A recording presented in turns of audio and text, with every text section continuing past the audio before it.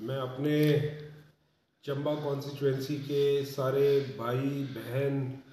बुज़ुर्ग, मेरे यूथ के साथी, कांग्रेस के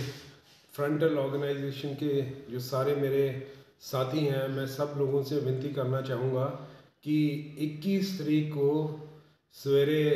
10 बजे जो है, सब लोग जो है मेरे घर में एकत्रित हों और 21 तारीख को जो है मैं नामांकन जो है भरूँगा और यहाँ से मेरे घर से जो है पैदल जो है हम लोग एस डी एम ऑफ़िस तक जो है इकट्ठे होके जाएँगे और मैं आप सब लोगों से रिक्वेस्ट करूँगा कि आप सब लोग यहाँ मेरे घर आके मुझे आशीर्वाद दें, मुझे विजय भव का जो है आशीर्वाद दें और इस